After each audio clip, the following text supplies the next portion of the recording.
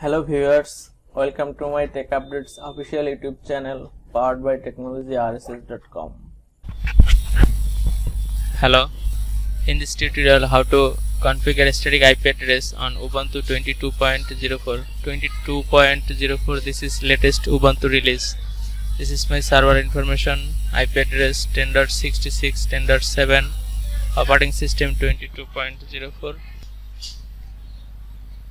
must be your server SSH enable using remove comment section port 22 and then permit root login yes this is removed from your physical server.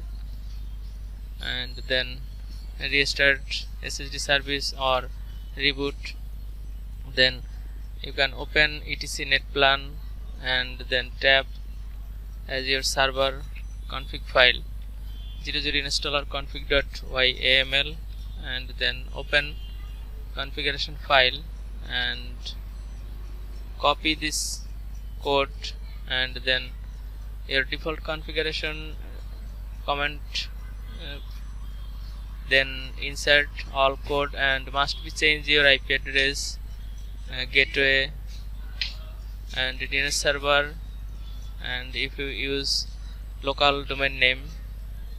So you can must be change the IP address gateway this is gateway route to default via gateway. Name server address and then DNS local domain name. Then and also must be same as your interface name enp0s3 this is my virtual box interface name. You can check interface name IP ADDR this is my interface name. Okay. Then you run this command netplan apply. If is show any error then you can use debug netplan apply yes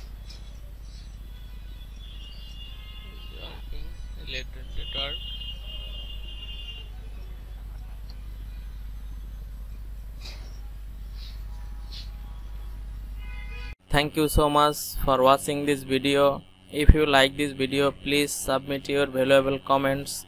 Please subscribe my channel, like and share with others.